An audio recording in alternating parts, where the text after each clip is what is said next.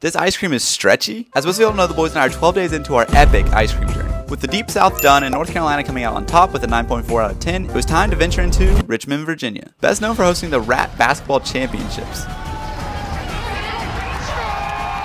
As well as having Gelati Celesti, the place we're visiting today, which unfortunately does not have rat basketball, but it did have a unique collection of ice cream scoops and an overall good vibe for an ice cream shop, as well as some unique flavors. I want to sample this uh, cinnamon crumb cake thing. We ordered a variety of flavors as well as an ice cream sandwich, but would this ice cream be able to top North Carolina's 9.4? It all come down to the taste test. That looks quite good. It does. Look how stretchy that is. The flavors were okay and the texture was very odd, causing the ice cream to be a bit stretchy, which wasn't our favorite. I can see how some people would love this place, but for me, it was just average. 8 out of 10.